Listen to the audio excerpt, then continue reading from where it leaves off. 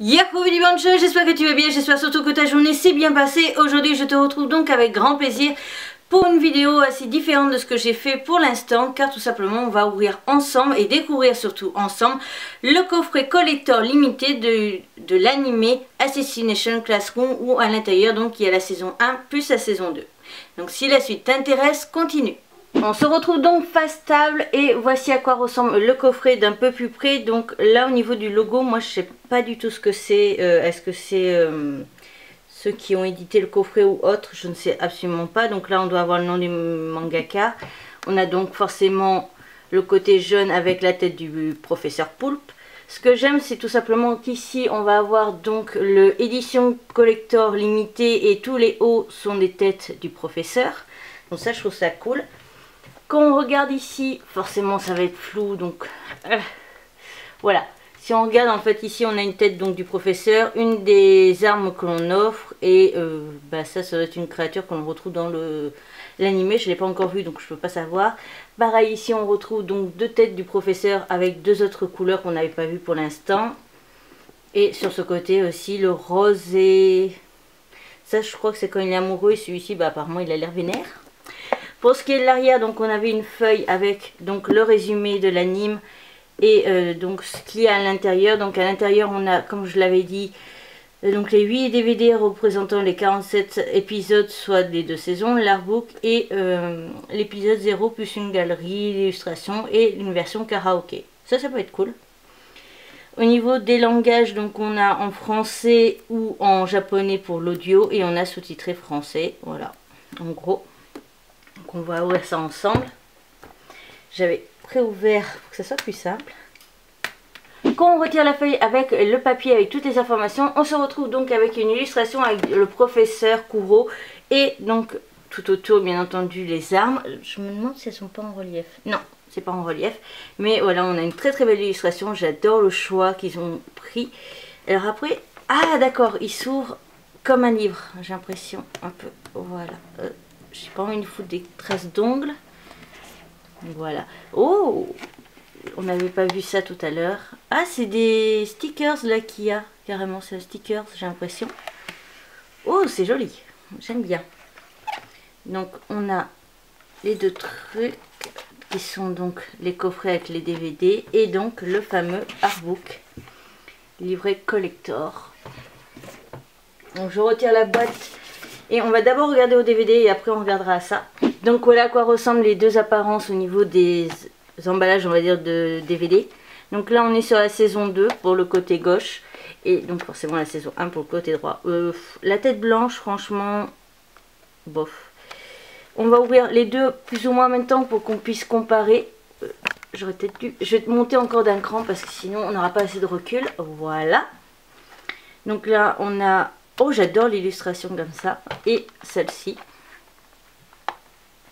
Donc là, on a le professeur Kouro. On a aussi le professeur Kouro. Et c'est fait aussi de travers. Avec toutes les têtes. C'est plutôt pas mal. Je préfère l'apparence des têtes que l'on retrouve donc pour le coffret 1. Plutôt que celle pour le coffret 2. Je sais pas si tu verras suffisamment bien. Même si je zoome. Peut-être. Je sais pas si tu vois vraiment la différence. Mais euh, je préfère ce côté-là. Hop. Et après, on se retrouve donc avec les 4 CD pour la saison 1. Voilà. Et on a les 4 autres ici. Ce que j'aime bien, c'est qu'il n'y a pas marqué épisode, mais leçon. Leçon 1 à 6, leçon 7 à... Voilà. Donc ça, je trouve ça plutôt pas mal.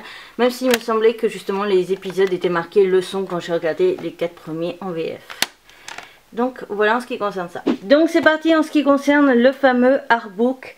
Donc oui, ils ont marqué notebook, mais bon, c'est marqué comme ça, en tout cas, qu'on on achète le DVD. Livret collector. Waouh J'adore l'illustration.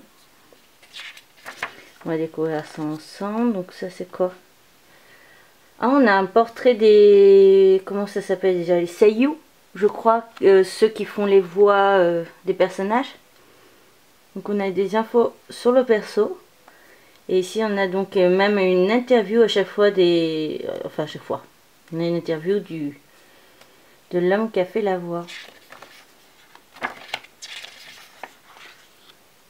Donc on continue et on a donc euh, le personnage numéro 11, enfin l'élève numéro 11 plutôt, qui est Nagisa Shiota. Et c'est une fille qui fait la voix en japonais, qui explique peut-être pourquoi beaucoup de gens pensaient que c'était une fille.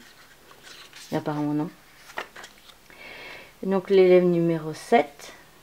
C'est cool ça, franchement c'est cool parce que même si je prends jamais trop le temps de m'intéresser aux personnes qui font les voix, c'est quand même intéressant de pouvoir les découvrir et connaître des choses par rapport à justement à leurs personnages qu'ils ont incarnés et ce qu'ils en ont pensé.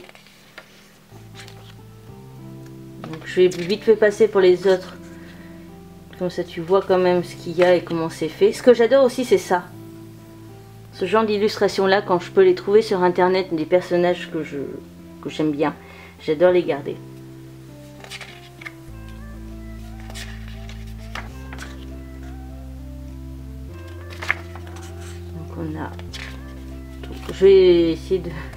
J'évite de sauter un personnage, mais ça va pas être évident. Et j'ai surtout très peur en fait de déchirer une page en faisant ça. Ah, ils se ressemblent assez quand même ceux-là. Hop là. Oh, elle est jolie en plus. Manami Numakura. Hmm.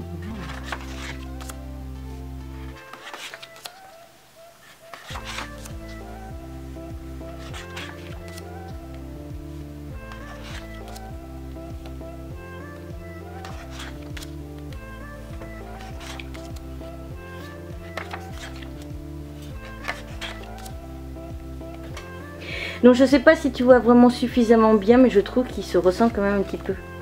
Je sais pas si ça sera mieux. Voilà, hop. Donc je suis désolée au niveau de l'éclairage et tout ça, je peux pas faire mieux.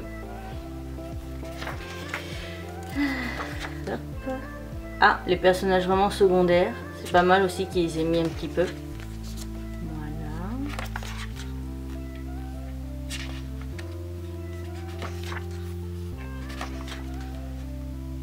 Les tenues donc sportives des élèves, la tenue du prof, ça c'est pas mal aussi, j'aime bien ce genre de choses et j'aime bien lire ou découvrir les informations, l'explication et tout ça. Donc là c'est les armes, fusil d'assaut, le fusil anti-courroux, le fusil de précision anti-courroux, j'adore anti-courroux.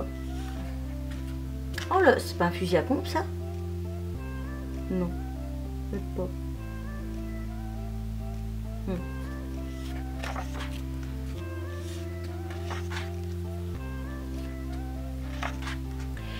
Donc on passe à la partie 2 et apparemment ça parle de la saison 2 donc je vais essayer de faire ça en mode très vague parce que même moi ça risque de me spoil au final la série. Mais en fait c'est quoi? Euh, Compte rendu leçon 1 festival d'été. Ça ouais, d'être un récap en fait, un résumé du, de l'épisode et quelques photos et des informations en plus. Mais pourquoi il n'y a pas ça sur la saison 1 en fait? Compte rendu épisode 2, 3... J'essaie de passer vite parce que même moi sinon ça va me spoiler de ce qui se passe à l'intérieur donc j'ai pas trop envie. Mais au moins j'ai le temps vite fait quand même de voir un minimum. Ouh Bien bâti.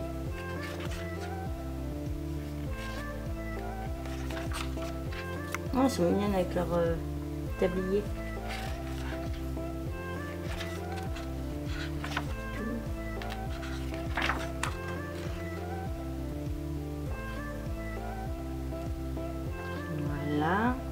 Ça en est où la fin?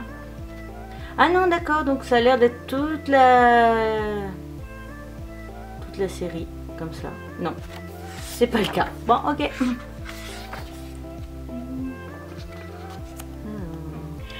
Donc après on a tout simplement un portrait du réalisateur, donc je pense que c'est le réalisateur de l'animé, donc c'est plutôt pas mal.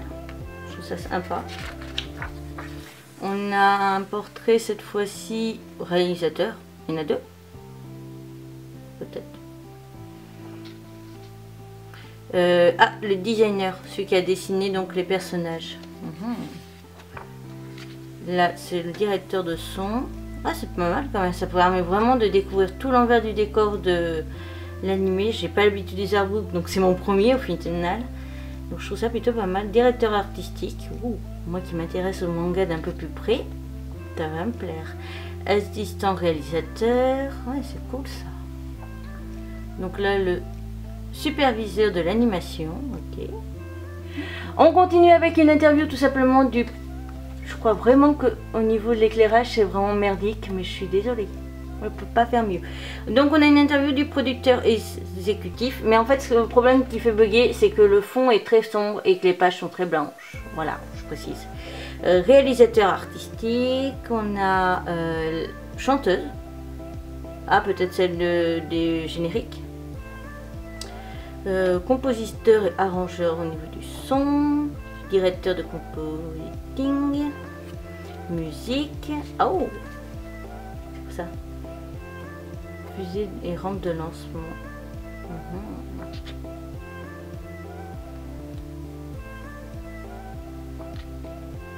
Donc là, on a juste les bâtiments de dessiner, les explications, les plans, etc. Les compositions en fait des bâtiments. C'est très intéressant parce que finalement, ça apprend beaucoup de choses. Là, on voit vraiment les pièces, comment elles sont faites et tout. C'est trop bien.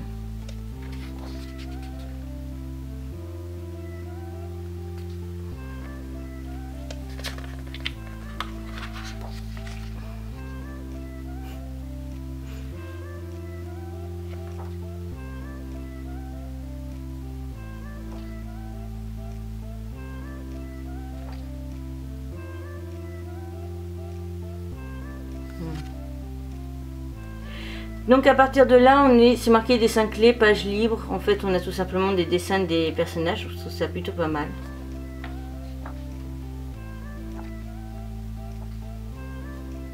Euh, là par contre, c'est un petit peu bizarre.